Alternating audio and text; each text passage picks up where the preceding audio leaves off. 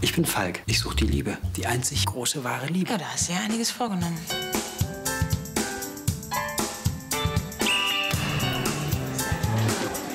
Ich habe mir ein paar Fragen überlegt. Äh, ist das okay? Was machst du so beruflich? Ich arbeite bei Ruth Sons. Von Haus aus Vermögen. Ich bin Meisterkoch. Ich bin Holzhändler. Ernährungsberaterin. Hast du einen Tipp für mich? Weniger essen?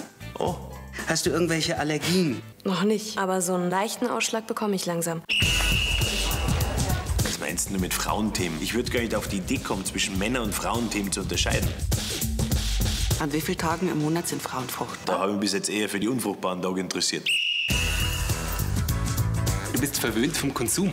Wenn ich jetzt einen Gin Tonic will, der lässt sich dann trinken ohne Gezicke. Und jetzt geht's um Beziehung. Und da willst du ein bisschen Sex, ein bisschen Nähe, aber nicht zu viel. Und du bist ja gar nicht mehr gewöhnt, dass das Konsumgut jetzt auch was zu sagen hat. Jetzt will der Gin Tonic plötzlich mitreden. Ich bin der Gin Tonic in deinem Beispiel.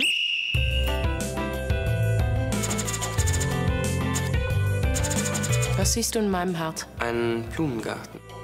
Warte mal, das wird ja langsam richtig anstrengend. Was Männer immer rumjammern müssen, echt. Ja, sollst mich mal hören, wenn ich krank bin. Ähm, willst du mal Kinder? Hältst du mich für dämlich? Jede Frau, die länger als ein Jahr alleine ist, die Antwort auf so eine Frage selbstverständlich mit einem entrüsteten Nein. Ja, das lernt man schon mit der Zeit. Gut, es war also ein Jahr. Scheiße. Ja. Wenn du meinen Namen ankreuzt und nicht deine Telefonnummer bekomme, dann rufen wir uns nicht an. Wenn wir uns dann irgendwann durch Zufall beim CD-Kaufen treffen oder beim Hautarzt, dann haben wir eine reelle zweite Chance. Ich denk drüber nach. Das ist doch spannend, dass man heutzutage reden können muss, um Sex zu haben. Eifersucht ist gut. Hauptsache keine Gleichgültigkeit. Und tolerant soll er sein, falls mir doch mal ein Ausrutscher passiert. Überraschung. Mich gibt's nicht unanstrengend. Ich bin der Abenteuerurlaub, nicht die Pauschalreise.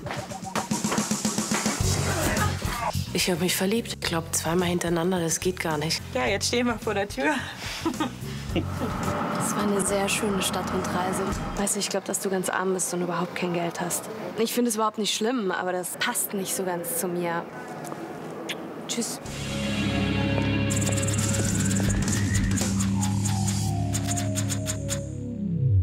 Haha, reingelegt. Was?